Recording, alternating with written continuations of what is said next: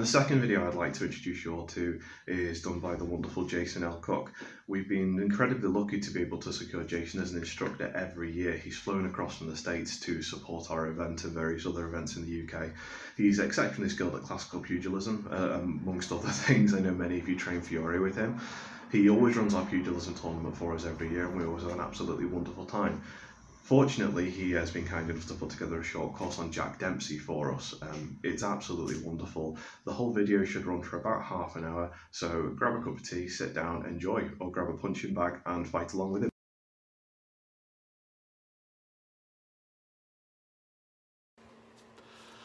Hi there, it's uh, Jason Cook. So I am putting together a small little set of videos, uh, a bit of a mini course walking through uh, some aspects of Jack Dempsey's championship fighting.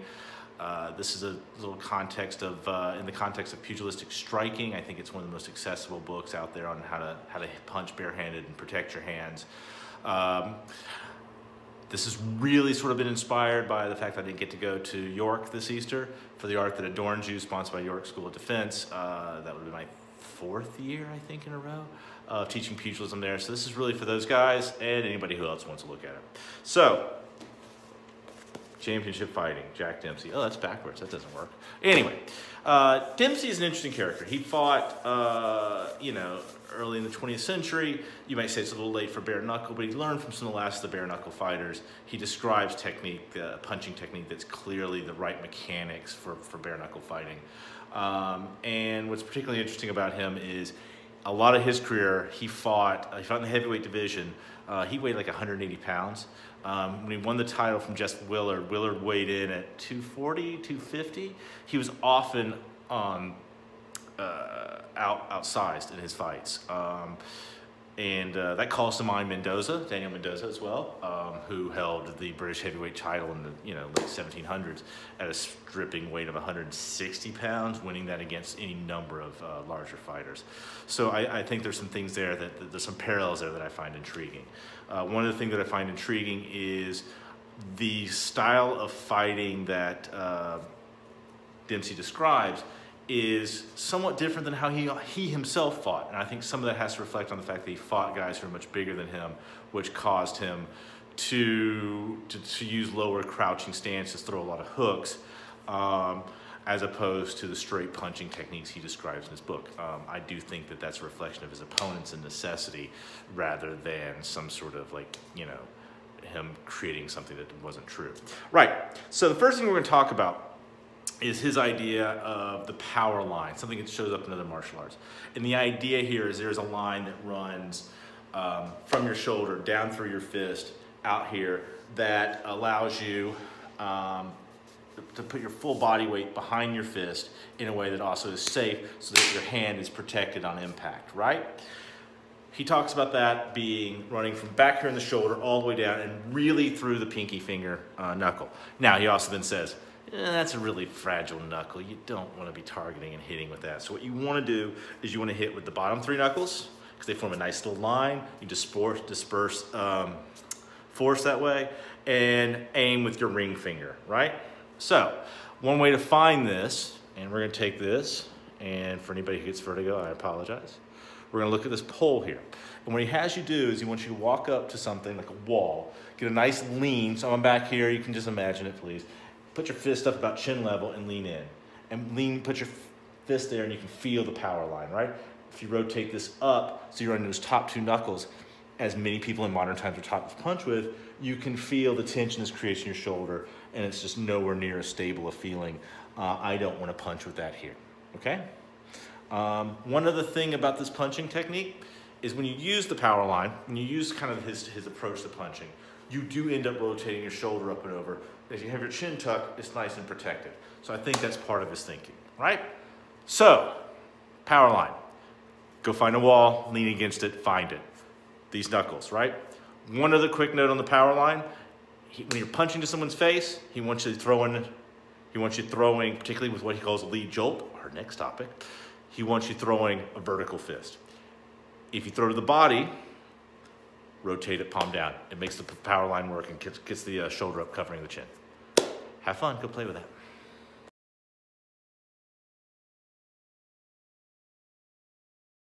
Hi, this is the second of our little videos, uh, kind of walking through a little mini course in Jack Dempsey's uh, championship fighting, looking at how he describes punching mechanics, and we're going to touch on range management, and that's pretty much we're going to wrap up this. So the idea here is, um, we talked about the power line in the last section, which was the idea of throwing a punch so that it lines up nicely, you hit the bottom three knuckles, it lines up with your shoulder, and that protects the hand uh, and impact by, by backing it up, up with all the nice meat up in here, right? Okay, great.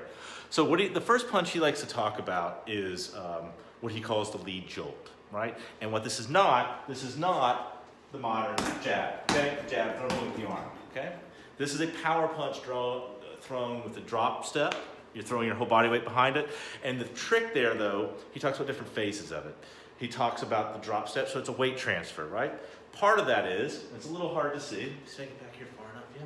So from here, I'm gonna throw it just into air here when I throw this punch, I'm gonna be here and be nice and loose. This is not great form. This is just kind of just demonstrative. I want you to be loose just to work on play with this. Pick up that leg and you know, I'm gonna exaggerate the motion here. I'm gonna pick this foot up and just make a nice long step forward. Okay, and I'm gonna exaggerate. Watch my rear foot. Okay, the idea here is as you're making that step, as you're making that drop step, you're instantly, you're going to instinctively, uh, your rear foot should be providing a bit of lift, a bit of a, a spring off that rear foot. He calls it a trigger step, uh, not just a drop step. And the reason is that you're triggering that, that reaction off that rear foot, okay? So if you have a heavy bag, line up on it, get about three feet from it. Um, and what I want you to do first is you're going to take it, you're going to get here, I want you to narrow your stance a little bit, not your normal fighting stance, be a little narrow, Get up on the balls of your feet. He talks about teetering, okay? Kind of a movement like this, right? And what you're gonna do, I'm gonna rotate this around just a little bit. So here, right, teetering, be nice and loose, make that nice drop step, okay? Make that nice drop step, great, okay? Just hold your fist out like a battering ram, okay? That's just me dropping my foot. Here, you know, I'm just here? And then that becomes, when you start practicing it, you get into a better stance, you're here, you're kind of your basic fighting stance. We'll talk more about that later. You're gonna be here, you're gonna wanna wait for it, you're gonna find a spot, you're gonna go, okay? And you wanna punch through the bag, got a little off center. Make a nice big pop, hit the bag hard, okay? Uh, I'm not hitting all that hard, I don't have my gloves on. Uh, so, there's something to play with. That's the lead jolt. If you don't have the bag, get into your nice little narrow little stance, teeter, love that word, and just practice that. Make sure you're getting that rear foot. Be nice and loose. Let your foot, let your hand be thrown forward. Don't pull yourself forward. Let that hand be exploded forward. This is all about explosive action. Okay? That's the lead jolt.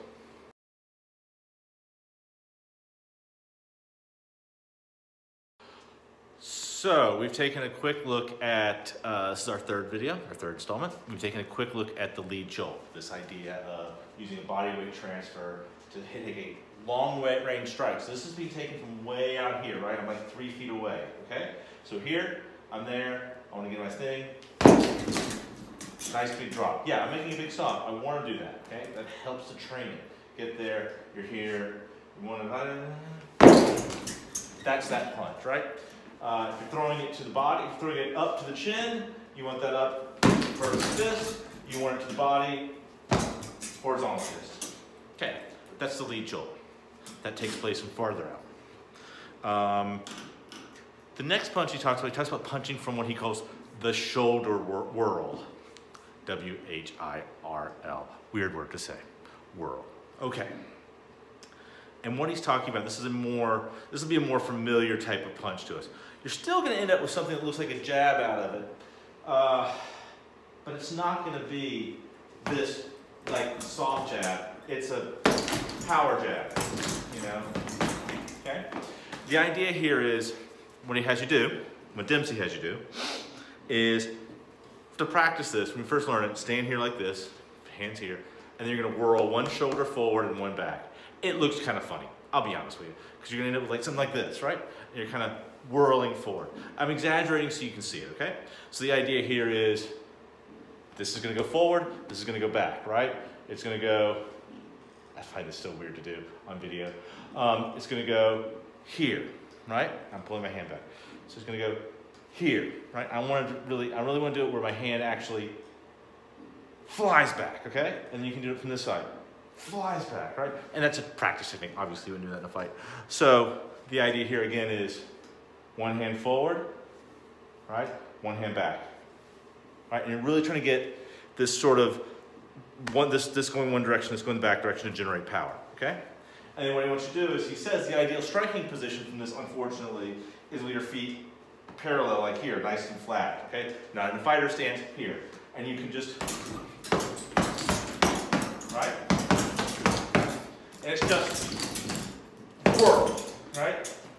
And I did that a little sloppy, but the idea here is to sit here and go, right? Go backwards, here. One shoulder forward, one shoulder back. And as a more realistic thing, you're gonna stand here like this, and you're gonna, right? So you're whirling that shoulder. Now, what does happen is when you get into a real fighting stance, is you're going to get less power out of that whirl, particularly for your front, because of the angle of the distance, right? You're here, right? Right? So you're going to have less power. And you tend to need, one thing he talks about is take a little step out, get that toe in a little bit. I don't know if you can see that, you probably can't. So instead of standing with your foot pointing straight forward, toe in a little bit. Get a little outside of your opponent, turn that toe in a little bit. Allows you to get more whirl, get more power with that punch. Okay? So, that's the shoulder whirl.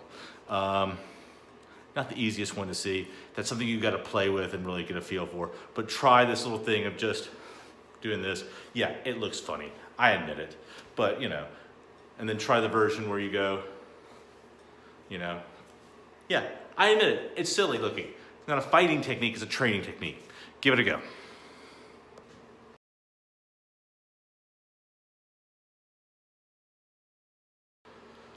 So, we've looked at what Dempsey calls a long-range sharpshooter punch, the lead jolt. By the way, there is a follow-up to that, broccoli, you're right. Really talk about that too much. But the idea is, once you've landed that lead jolt, your hips are open, snap that wrist down and punch in. Drive this hip directly to the ground. Okay. So that's a long range punch.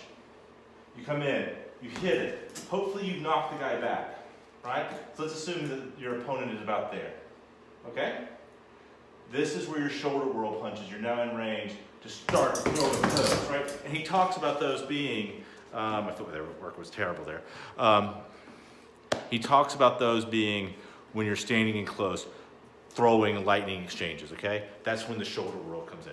So the idea here is, I'm out here, I'm throw away, I get the opening, I hit, stay there, start throwing the shoulder roll. You're using that power, okay?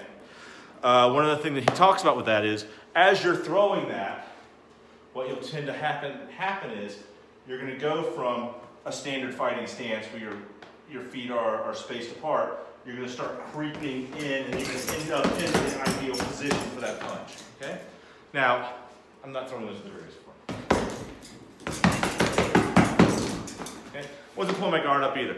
So always do that. Um, this is a striking practice at the moment, not full sparring practice, okay? So, out here, far away, there. Hit your nice long punch, your nice lead jolt. And that should set up the distance. If they back off a little bit, that starts setting you up for throwing nice big whirls. Notice you throw the whirl, shoulder rotates up, protects the jaw. Okay, doke. Have fun.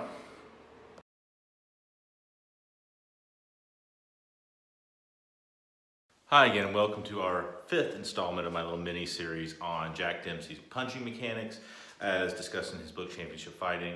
Um, as a reminder, we're looking to tie these back to the era of bare knuckle fighting, particularly fighting under the London prize ring rules. Um, and I'll have more to say on that later.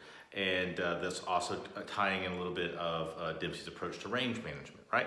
So here's what we've looked at. Quick recap. We've looked at his um, lead jolt, which happens from long distance, as he puts it, okay? So you can take a full step, bam, right? You can punch with a step.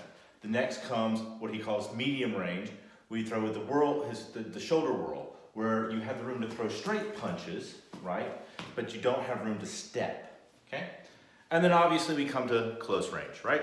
And that's where you don't even have room to throw a straight punch. You're going to be throwing a punch with your arm bent. Um, and it's going to look something like this, or this, or straight uppercut. Okay. So for short range punching, uh, Dempsey talks about two types of punches and breaks one of those categories down into two. Uh, the first category is hooks. Hooks are thrown with the arm straight, uh, bent, and you are using both the, the whirling motion, throwing your weight behind it, uh, also in what he calls an upward surge, uh, or a, also a hip hunch. Um, a little bit weird.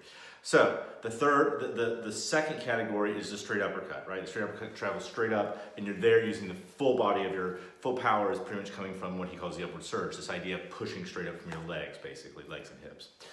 Um, within the hook category, he breaks down into two types of hooks. He talks about the shovel hook, which is connected to the body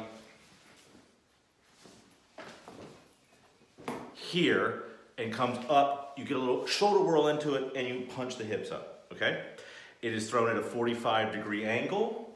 Uh, I like to think of hitting my opponent in the floating ribs and driving towards the heart. Uh, and that's the punch we're gonna focus on. The second type of hook that he talks about is the outside hook, and that's the one you're most familiar with. That's the punch that moves here or here, you know. Okay? Um, why we're not going to focus on that one is, is, is, is several reasons. The hook is not well attested, the outside hook in particular, is not well attested uh, in the pugilistic, classical pugilistic era, as I call it. Uh, I also think it is a harder punch for the novice to master safely. It, uh, the likelihood of you throwing it wrong and breaking your metacarpals is quite high, though I do think Dempsey provides good instruction on how to do that, how to throw that punch properly. We may come back and look at that later at another time. Um, so we're going to focus on, for our purposes, talking about these different, managing these different ranges, uh, and then from a pugilistic, classical pugilistic point of view, moving into the clinch and into the grapple, working towards a throw, something Dempsey doesn't talk about. Uh, I think the, the shovel hook will suffice for our purposes here, okay? One last thing, why is it called a shovel hook? If you've ever done shoveling, get a shovel and get one with that nice big crossbar handle that you, handle, you hold like this on the end. And get a big one, get a nice heavy one. Get a big load in there. Get thing down on that thing, shovel in, and then you're gonna do this. You're gonna do this kind of motion. And that's what he's talking about. That's what powers the, uh, the shovel hook. So I'm gonna do this uh, uh, left southpaw so you can see better. So here's what he says, shuffle in, get to about here, arm loose, hangs loose. You always like to start your arm hanging loose, which I think is a good thing. Connect your hands. I got short arms, I got Tyrannosaurus arms. Um, so he talks about connecting it to your hip. I'm gonna get it onto my ribs. Sorry, that's where we're going. So here, nice loose, loose fist up here, and then just whirl. You're gonna wanna whirl and punch, right? So you're going to be getting a, a hunch here, this, this, this movement here with your hip, while also whirling your shoulders. Well, this one forward, this one backward. So you're here, and you're gonna go, right? And it's that kind of a motion. That's your shoulder, that is your uh, shovel hook you know, you can see where you want to go, right here. And he talks about the short range being head to head. So literally, on the heavy bag, if you've got it, get in here, put your head here. And you can see you have a lot more explosiveness from the offhand, um, your rear hand. So that's the shovel hook, and that's how you throw it. Um, it's a wonderful punch. I think it is the king of inside fighting punches.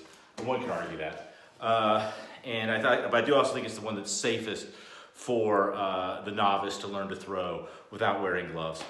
Um, Fedor Emelianenko, who was uh, a dominant MMA fighter in the prize uh, days of Pride, the Pride promotion, um, was famous for his shovel hooks. You can throw them high, right? Um, that's not the purpose we're using them for here. Um, so again, let's talk about this one last time. If you've seen the movie The Professional, starring Jean Reno and a very young Natalie Portman, uh, Gary Oldman as well, uh, he talks about the hitman, the cleaner, working from three ranges.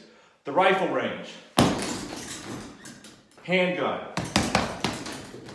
Not quite as clear here, knife, right?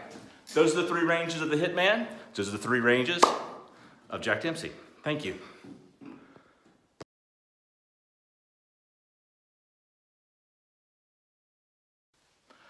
Hi, welcome to part six of our look at uh, Jack Dempsey's championship fighting and in particular his striking mechanics, which I contend translate well to bare knuckle fighting. Uh, and then we're going to be looking at how to tie that back to the idea, the, the concepts applicable in classical pugilism, the term I use for fighting under the London prize ring rules, which allowed for standing grappling. So Dempsey is speaking to an audience that, that is looking to win fights with striking. Winning, winning a fight with straight up striking uh, is very, very difficult. Um, you can go watch, I'm going to talk about MMA a lot because I think MMA with the four ounce gloves, the lighter gloves, is more applicable as, a, as, a, as, a, as an analogy than when you're using eight ounce, 10 ounce gloves uh, in, in professional boxing these days. But even so, two heavyweights in MMA often get in the ring, it doesn't end by knockout. Um, may end by technical knockout where somebody gets knocked down, gets gets mounted, and there's a uh, ground and pound, and the referee stops it. But a sure that but that classic one shot to the chin, someone's unconscious, doesn't happen that often. And these are guys who are weighing 240, 260 pounds, wearing tiny little four ounce gloves, uh, pounding on each other, trained professionals, and they're not knocking each other out. So if you think that you're going to win your fight by knocking somebody out, more power to you. Wish you luck. I think you probably want to have some other tools. So, where we're going to part company with Dempsey a little bit is in the idea of once you're in that short range, once you're using your shovel hooks, instead of looking to either to just do damage and get out, which is a very valid option. I mean, at any point in any range, the option to bail, the option to retreat under cover is a valid option that you should always consider. In fact, it should be your first consideration uh, in any sort of social aggression point um, uh, context. But when you can work into the grapple, when you're in the clinch, there's some things to think about where those short range punches put you in a position to soften up your opponent uh, and then seek to put their butts on the ground. So, to review, we're out here, we're at sniper range. We're up, I'm gonna do the southpaw, you see a little better. We're up, we're there, we're gonna get our hands up, we do our falling step, there. They move back, we're in, we're throwing straight punches. And slowly we creep in, and then we're here, and I'm throwing here. All right, see what I'm doing with my right hand? Can you see that? This is called framing, all right? The idea of keeping a hand on your opponent to know where they are, right? Ideally, when you frame, you should be taking control or at least defending from one of their weapons. In this case, let's say this is a person standing here like this. I want this hand up over here hopefully trying to give myself some cover from their left hand, right? So that's framing, and that's giving you some chance. And then if you want to get out, you can push off and you're back here. Okay, framing. Where framing can progress to is you start looking for the grapple, or in the language of classical pugilism, chancery. Uh, two easy ones to think about. Imagine this is a person. I know it's a little bit difficult, okay? And their head's up here, okay?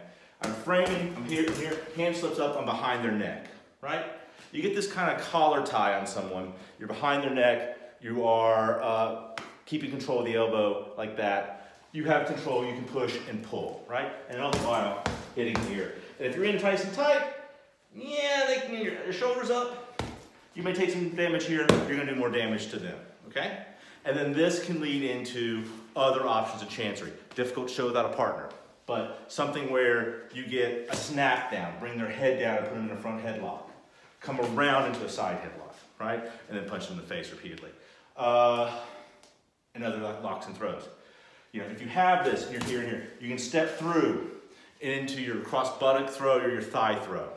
Um, if you're there and you're able to get up and slip into here, you can get a nice neck throw. All those are valid techniques, okay? From that. The other place to look for it would be I'm here, I'm punching, I'm punching. Imagine there's an arm here. Actually, we'll do it from this side. Imagine there's an arm here. Shoot up underneath. I want to get underneath somebody's arm. That's called an underhook. Google it.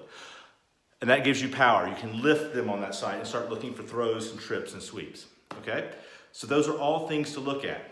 So one more time, the idea here is, and why I like uh, classical pugilism, why I like Dempsey is, in particular Dempsey's approach to range management is how do you punch into the clinch? How do you punch into the grapple?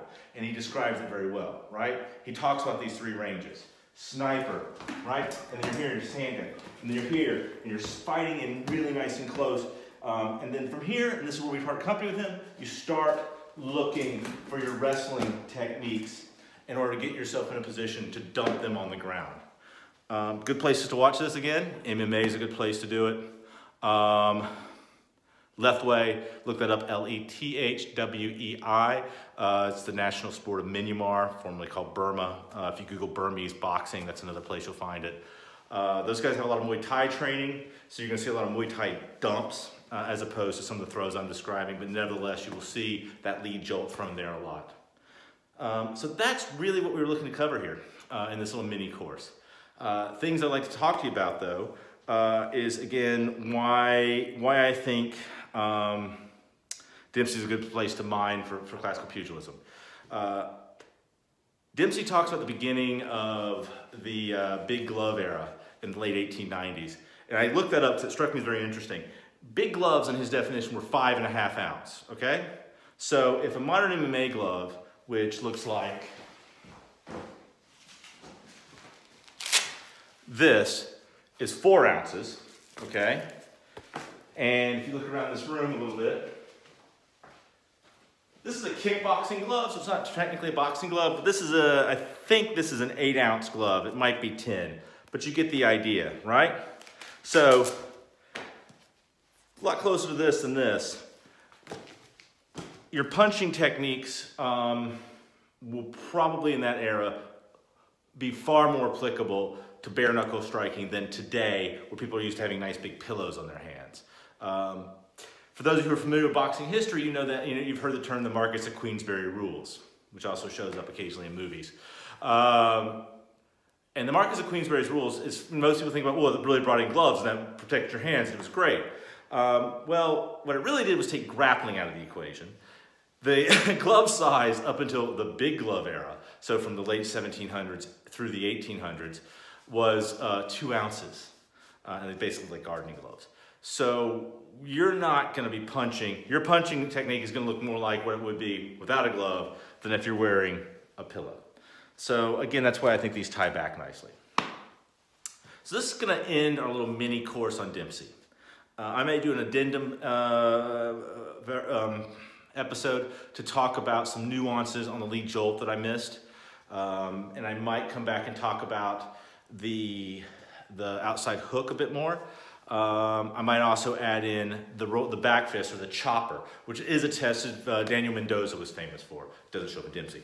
And that might round out sort of a, a striking of, of, for, for bare knuckle boxing, bare knuckle fighting um, series for you. The last thing I would talk about is we didn't cover defense. Uh, that was not the purpose of this, this, this little mini course. Uh, that's a whole other topic. Might address that in the future.